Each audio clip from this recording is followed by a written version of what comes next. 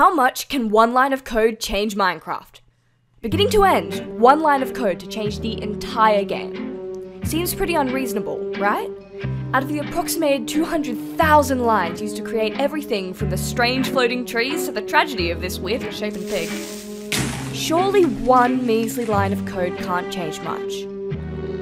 Or can it? Now, the game breaking potentials stretch far beyond this, but I think we should experiment with the staple for Minecraft and everyone's favourite disaster the Cree, the cave spider. As we can observe, the cave spider partakes in many activities including biting your foot, your arm, your face, your butt, your stomach, your left diamond boot, and your ear. So logically, I'm going to change its ability to climb up walls, also known as its only redeeming factor. Listen, if I'm gonna change a spider's behaviors, I can't just take off its fangs and expect it to function. I mean, seriously, what does a spider have if I don't let it kill people? Okay, okay, I want this spider to be cool, and as much as I want to make a rip-off Spider-Man, I can only use one line of code, so we're gonna have to capitalize on what the game has given us already. A mob's behaviors are all located in this block of code, and conveniently enough, from here I can access all the behaviors from all the other mobs that really shouldn't mix with a spider. And with that, we bring about the terrifying thought of a flying, exploding cave spider. Truly hideous. But I think we're gonna go with a bit of a simpler one. Fireballs.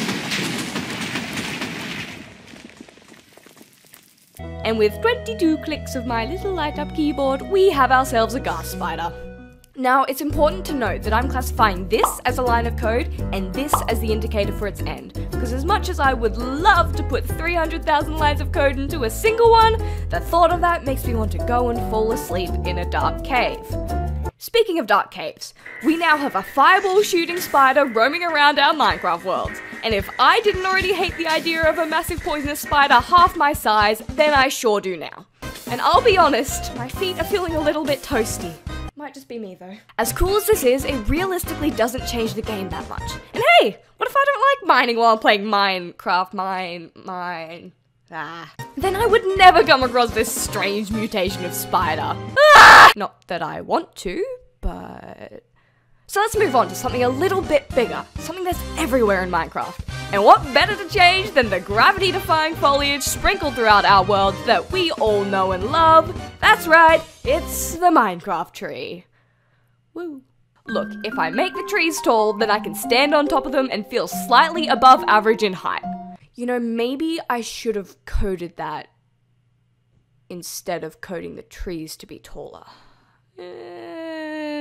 Now, I went deep diving through the dark depths of Minecraft code and stumbled across this, which in a short sense is the brains behind how tall trees are. So, by changing this number to, let's see, um, 40, then we should have a suitable tree to fit an odd three generations of baboons. Okay, this one's a pretty simple change, but quite effective if I do say so myself. I'm finally taller than the oh so many friends I have to play in my Minecraft world. What is that? Okay, now I may know my trunks from my leaves, but I didn't expect that atrocity to happen. Oh my gosh, I could build a killer treehouse in that. Although it kind of looks like autumn came early due to the lack of, you know, tree conventions. We get it, tree. You think you don't need leaves because you're better than all the other trees. Curb your ego. You're not better than anyone else, tree. Any anything else, any tree. Hmm. You know, I never thought I'd be telling off a Minecraft tree for having a high ego. I'm, sorry, tree. You're beautiful on the outside, just not on the inside. Sorry. You look great. Oh, I'm just digging myself a deeper hole here. Oh, look at the spruce trees. Christmas came early this year, fellas. Just a little more abundant than usual. Out of interest, what if I just. Yeah. I'll be honest, I'm scared. It's loading. Ah. It's gonna crash. I'm calling it now. It's gonna crash. Oh my gosh. It, it just keeps going. Oh my god, the errors are going crazy.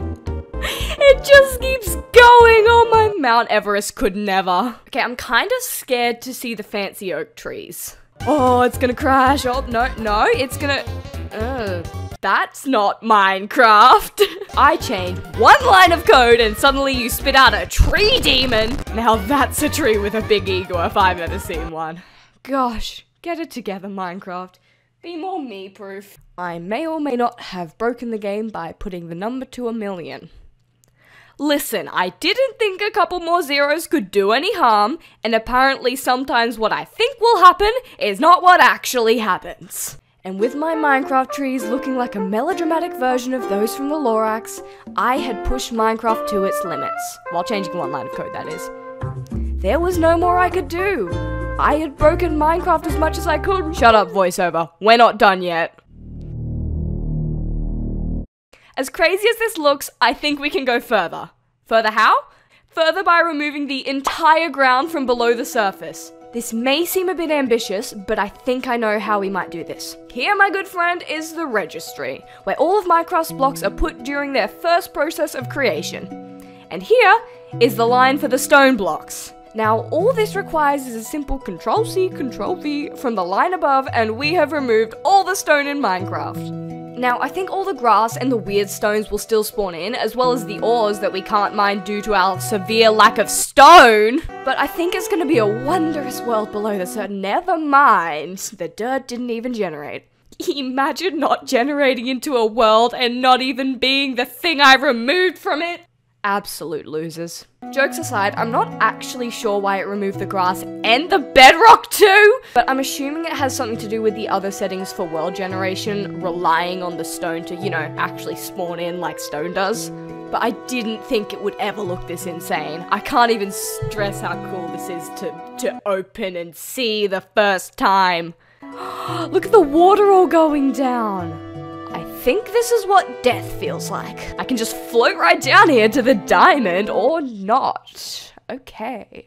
I'm so rich right now. X-ray texture packs, you have nothing on my one line of code. So, how much can one line of code really change Minecraft? Well, I think we've got our answer. From weird spiders to funky trees to the world barely even existing. I think great things can often come from a series of small ones, which ultimately shows how a difficult task that seems daunting may not actually be so complex. Maybe this silly little Minecraft video I decided to make on a Saturday afternoon alludes to some larger prospects in life.